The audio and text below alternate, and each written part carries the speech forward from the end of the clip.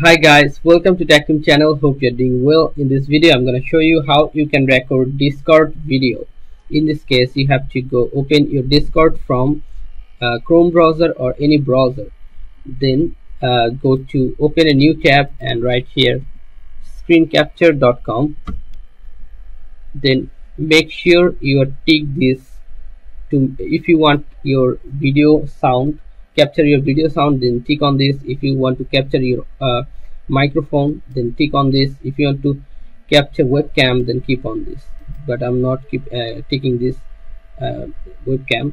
Then if you ready to start streaming click on start recording. And then it will suggesting for discord this one. You can see chrome tab. Just click on this ons and start share now your discord is sharing cap screen sharing total thing. So yeah what you'll do will be captured in your video. Okay.